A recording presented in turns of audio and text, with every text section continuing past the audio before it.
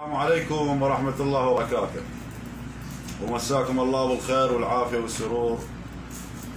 ورجاء اللي يشاهد هذا المقطع يعطيه مشاركة على مود يوصل للأحزاب الفاسدة التعبانة. أه، أريد أناشد سيد عمار الحكيم الله يعطيه العافية. سيدنا صار لك 17 سنة بالعملية السياسية.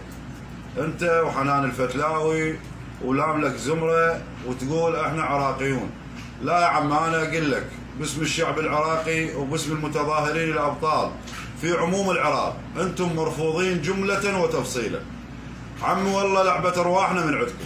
بينما بين الله جزعنا لعبة أرواحنا من عندكم. من نشوفكم حتى يعني نشوف الخراب والدمار ومن نشوف هاي الشتولات عم تعبنا أنت جدك سيد محسن الحكيم مرجع الطائفة الشيعية كلها. عمي ما تقعد وتسكت.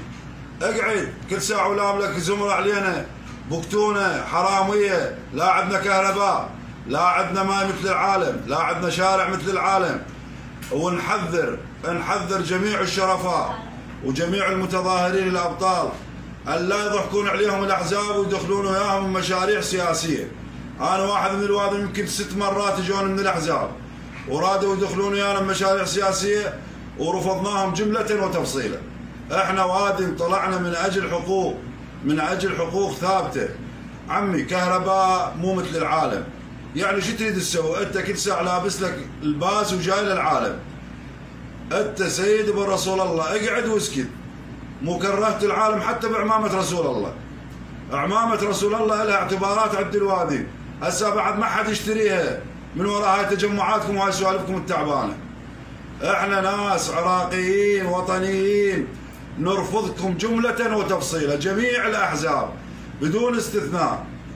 لا سويتوا لكم شارع لك مستشفى ما سويتوا مثل الأوادم 17 سنة مستشفى ما سويتوا مثل الأوادم لأن أنتم ناس جايين تبوقون وترحون.